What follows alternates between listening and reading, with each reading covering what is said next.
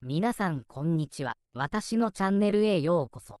女子ゴルフツアー TOTO ジャパンクラシック最終日。2024年11月3日滋賀県瀬田 GC 北 C イコール6616ヤード、パー72。写真あり、イメージ違う。ドレスアップした脇本か。単独首位から出た脇本花、27イコール GMO インターネットグループ、ワニバーディー。3ボギーの73頭都市6位で終戦。ツアー初優勝を逃し、悔しいの一言。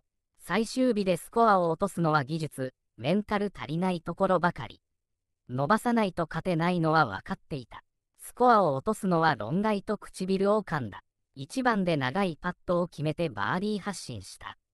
しかし初日、2日目に冴えたショットがぶれて4番、7番でボギーを叩き交代。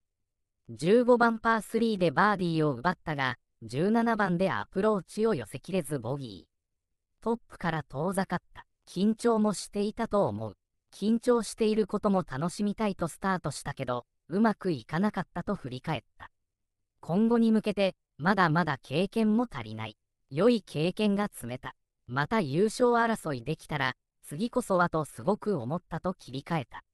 どう思いますか？気に入っていただけると嬉しいです。また次回お会いしましょう。